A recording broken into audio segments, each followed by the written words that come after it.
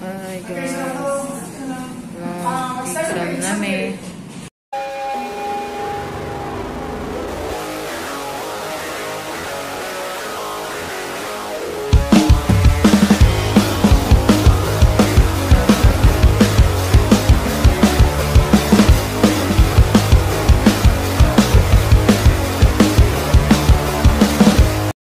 Hello guys, welcome to my YouTube channel.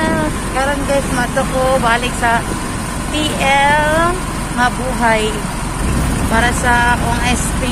This is my second day. So, na-late na gani ko. Isa no, uh, sayo ko hindi kan hindi kan sabi no nido ning sayo ko biyahe around 5 a.m. para kuan para dili ko madakban sa sa checkpoint. Ningat ko sa nagstay ko sa balay ni Mami Jake. May galab siya. Rato yung Mami. Huwag ni tita pa. Kanang karon pa doon ko kuha na alas 8 naman dahil ay kung ano late na siya. So, siya mga guys. Guys, ang TL Mabuhay guys is training na na siya sa magkuha og SP student permit sa pagkakaroon guys we need jud nga magkuha ta og og SP para makalusot-lusot kay pa sa tablak ato. Nata importanteng lakaw or like for example na kay kinahanglanon sa talibon. So pwede ka makalusot og talibon anytime. Kay dili nakadakton sa police sa mga checkpoint, di nakatikitan, sa mga taga-munisipyo. So, as of now, it's my second day. So, tanawon lang ni kay kahapon, nakuratan ko kay nag-exam lagi ni kahapon, guys. Kaya wala lagi na ako. so, karon uh, up to 100. Kuya, naka-upload din ako, no? Thank you.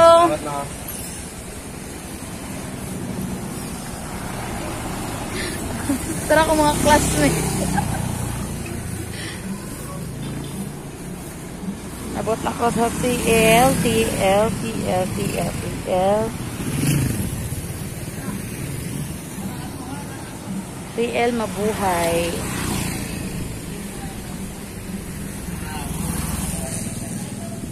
Dara, dara, dara, dara, dara.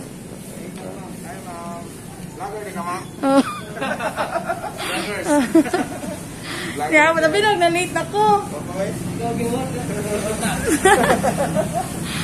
Dara mo instructor. Oo, pag-ilis. Hello guys, welcome back. Anak ko, niabot ako sa training center sa TL Mabuhay here located in Talibon, Bohol. Muna ko mga classmates. mga classmates sa Kahag SP certificate. Hi! Taga-kandihay na siya guys. Silingan niya ni Floramie. Hi, te. Dito akong vlog ni te. Ah. Secondary na mo. Ingon sila na ako na may exam 1 to 100. Perfect kon man rin na mo. Perfect zero.